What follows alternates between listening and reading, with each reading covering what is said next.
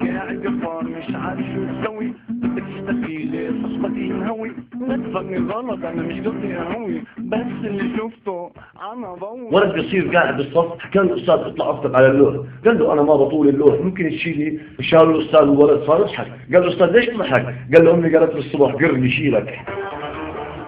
واحد محشش منحوس منحوس منحوس ماشي بالصحراء لقى مصباح علاء الدين قام فرقه طلع للنار وقال له إذا بتفرقه مرة ثانية بفرق وجهك.